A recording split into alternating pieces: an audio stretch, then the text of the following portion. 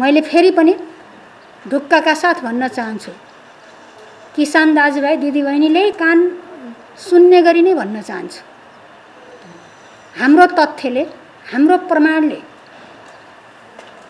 के बताउँछ भने आजका दिनमा पनि हाम्रो खेतीबाली लगाउन सम्मको निम्ति मल पर्याप्त छ।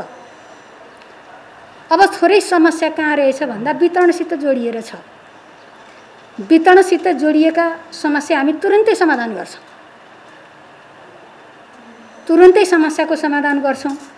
त्यसैले मेरो अनुरोध तपाईँहरू मार्फत पत्रकारहरू मार्फत सबै सञ्चार माध्यम मार्फत मेरो सम्पूर्ण दाजुभाइ किसान दिदीबहिनीहरूलाई के छ भने कुरा तपाईँहरू मङ्स भदौमा मल आउँदैन कि असोजमा मल हुँदैन कि भनेर अहिले यो सिजनको निम्ति हामीले प्रबन्ध गरेको। वितरणको निम्ति ल्याएको मल आफूलाई आवश्यकभन्दा बेसी राखिदिने अनि त्यसपछि अहिले भर्खरै किसानले नपाउने भोलिको निम्ति सास दिने त्यो काम नगरिदिनको निम्ति मैले अनुरोध गर्छु।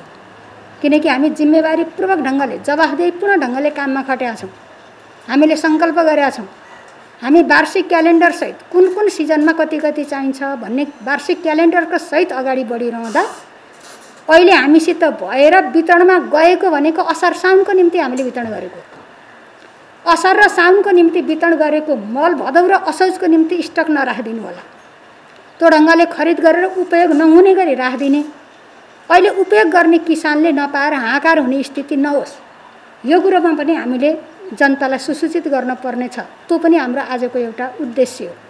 त्यसैले मल पर्याप्त छ समस्या वितरणमा छ वितरणलाई पनि हामी छुट्टै समयमा व्यवस्थित गर्छौँ।